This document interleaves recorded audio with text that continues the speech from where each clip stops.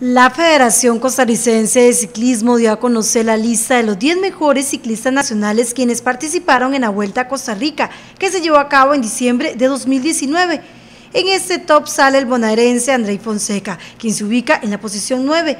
El destacado ciclista participó por primera vez en esta competencia. En su equipo, él era el gregario, en ese momento habló con TV Sur Noticias y esto dijo. Eh, pues he pasado muchos momentos en las carreras de mountain bike y realmente digamos han sido muchas experiencias, pero en el ciclismo de ruta la verdad que he tenido muy pocas y este año quise correr la vuelta para, para eh, primero digamos como equipo tener toda esa experiencia nueva y por qué no seguir corriendo vuelta a Costa Rica, pero aumentando el nivel cada vez más. ¿Cuál es su papel en la vuelta? Yo soy el gregario, o sea, en lo que ah, hoy fue una etapa de jalar mucha agua, tenemos que bajar muchos, tenemos que bajar el carro a, mantener a los compañeros que están mejor ubicados en la general, a llevarles el agua para que se mantieran bien hidratados. Igualmente nosotros también, como gregarios. Su primera experiencia en la vuelta y destaca entre los mejores 10 ciclistas del país que participaron.